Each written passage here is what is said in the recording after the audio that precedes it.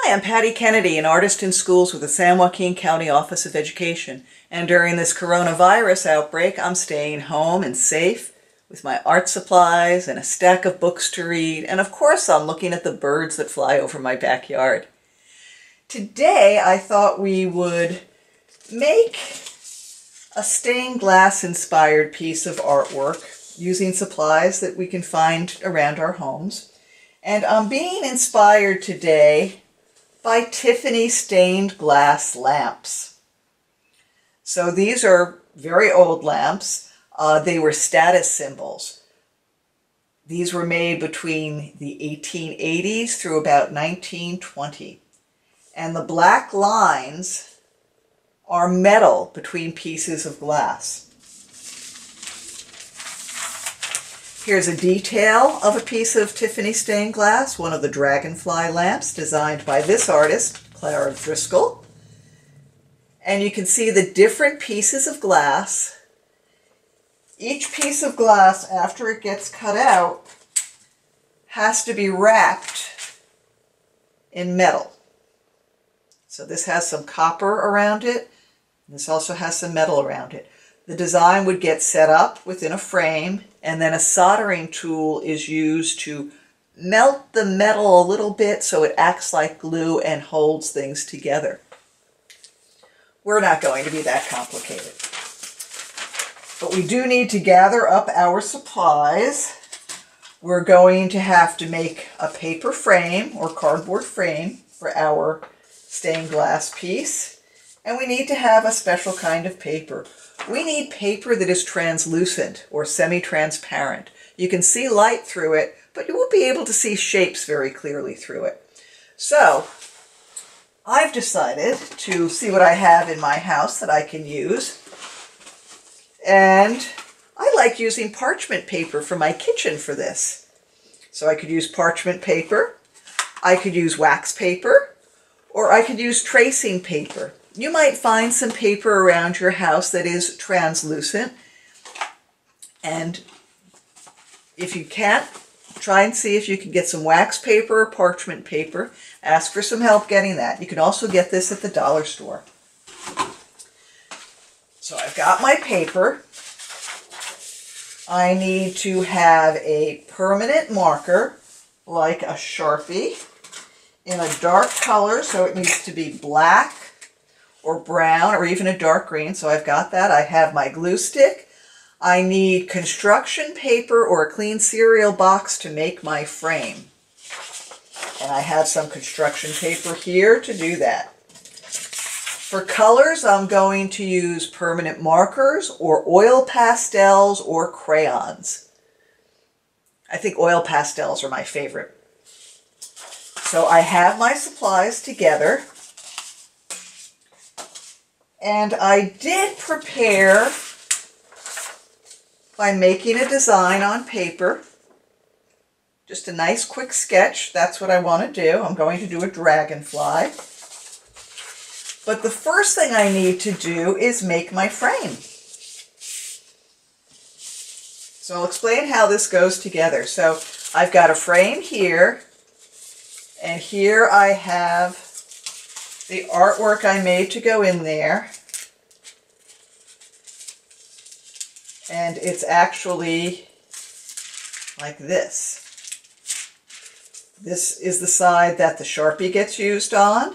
And then I'm going to color on this side so that when I close it up, the color is protected in there. And then I will glue it into the frame that I make. Okay, so my first step is, I have a design, so that would be my first step. I know what I'm going to do. So the next thing I need to do is make my frame. So let me show you the easy way I'm going to make my frame. I have my construction paper right here. I'm going to fold it in half this way. I'm going to make sure the edges are lined up, up there going to hold it here. I'm going to go down this way, and then I'm going to go that way and this way. And then I'm just going to make it nice and crisp. So there I have it folded. I've already decided that this is how big I want my opening to be. And if I'm doing several of these and I want the opening to all be the same size, I'm just going to cut out the shape I want to use as my pattern, my template. I think I will do it this way. I've got that on my paper. I'm going to trace that rectangle.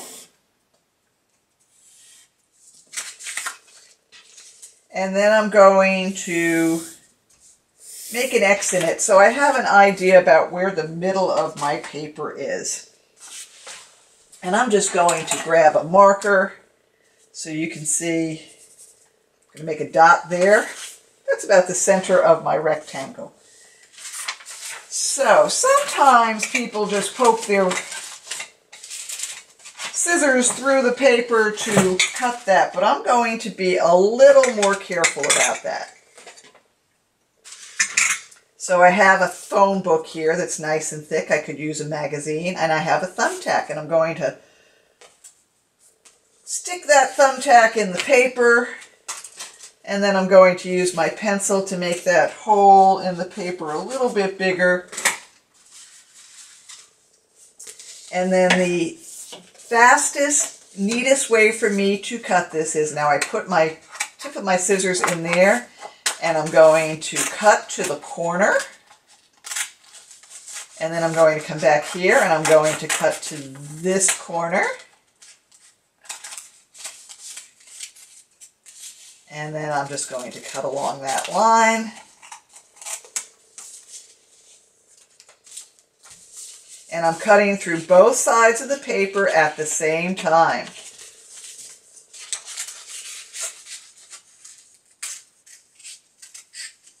That way the sides are pretty even.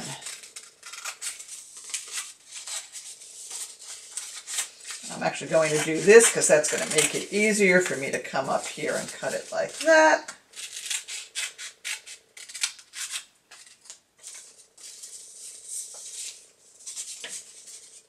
Now you might find something around your house that is already looking like a frame. And if you want to use that, go ahead and use that.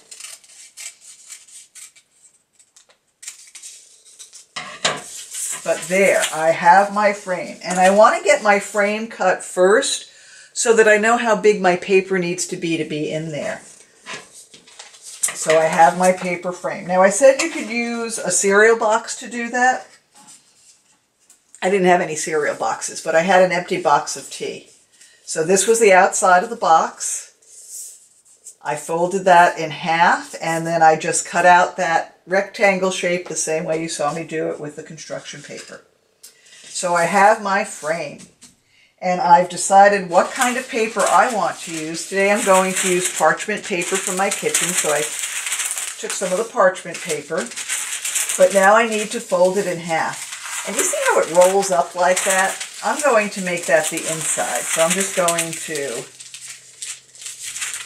let's see, I'm going to make sure it fits. I want to make sure it's going to be tall enough. Will it be tall enough? Yes, it will.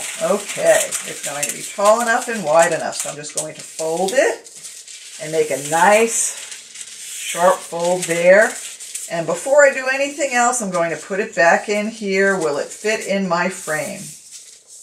Uh-oh, some of it's hanging off. Do you see that? Has some of it's hanging over here? So I'm just going to make it easy on myself, and I'm going to cut off some of that extra.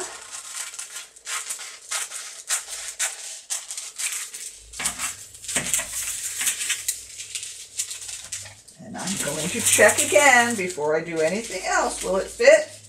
It will fit. So I've decided that this is the design I want to do. So I'm going to do this. I'm going to put it inside my translucent paper. Let's see if I like the way it's placed. I like that. Okay, so I'm going to put my frame to the side. And this is where I'm going to use my Sharpie. I'm going to outline my design. And if I'm a righty, I'm going to start on the left side. If I'm a lefty, I'm going to start on the right side. That way, it's less likely that I'm going to smear my marker because we are using parchment paper or wax paper, it takes a minute or two for that Sharpie to dry. And if I'm moving around on my paper with my hand, I might smear it. Okay, so I've got that part done. I'm going to come down do this wing.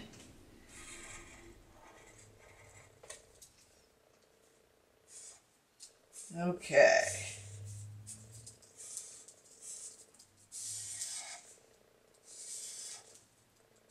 And I do want to make those lines touch one another. There we go. So I'll take that out. See, I have a simple design, so it doesn't take a long time for me to outline it. So here's the Sharpie. Now I'm going to open up my paper, and I'm going to color on this side. I'm going to use oil pastels because I have them right here. And they get a lot of color down without having to use a lot of pressure. I'm going to use warm colors on my dragonfly and I'm going to use cool colors on the background. That way it will make the dragonfly look like it is closer to me. Warm colors bring things towards you. Cool colors move them away from you. Another thing that I'm doing is I'm holding my paper with two fingers spread like that. That way I don't have the paper jumping up. This paper is thin and sort of flimsy, so if I don't hold it down, I'm probably going to have it crinkle and wrinkle on me, and I don't want it to do that. Give this guy some red eyes and some red spots there. So my dragonfly is colored in. And I'm going to put some blue here because that's what I feel like doing. I'm using the side of my pastel for big areas and then I can come in and use the tip of it for smaller areas where I don't have as much room to move my pastel around. But if I can use it on the side and color in big areas quickly, that's what I'm going to do. So blue is a cool color and it will stay in the background against that yellow that is popping forward to meet me.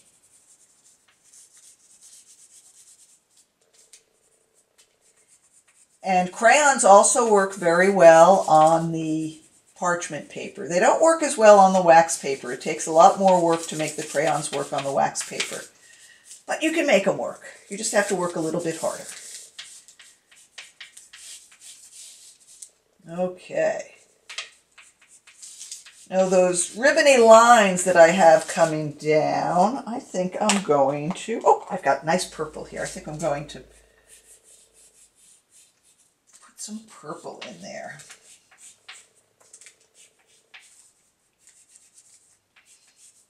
Purple and yellow are opposite colors, so when they are near one another, they really grab your attention. Think I'm going to add some a different blue over that blue. Just a little different blue. It has a little more green in this blue. Okay, so there I've got it colored in. And now I'm going to do this. Here's my fold. I'm going to fold it up.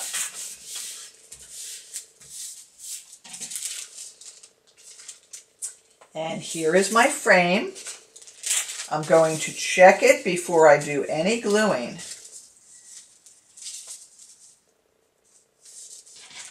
So I'm checking it, and you know what I'm seeing? I'm seeing that I want to put some more blue there. I don't want it to be white there. So I checked it before I glued.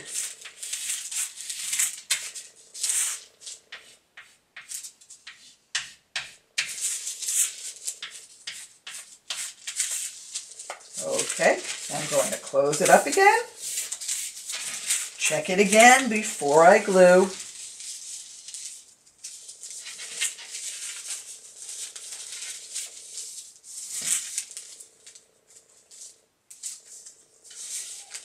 Okay, and now I'm going to glue. I like the way that looks.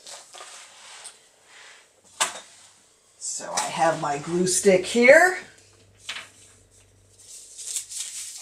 Going to start by putting some glue. I've opened up my frame. I'm going to put some glue here and here. And then I'm going to place my stained glass drawing here.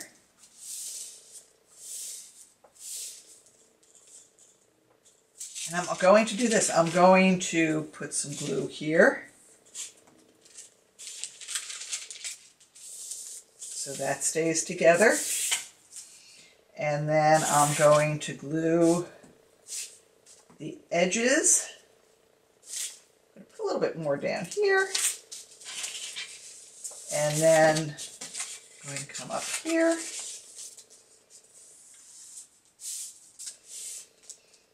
And I'm going to smooth it out with my hands to make it as flat and smooth as I can. Okay.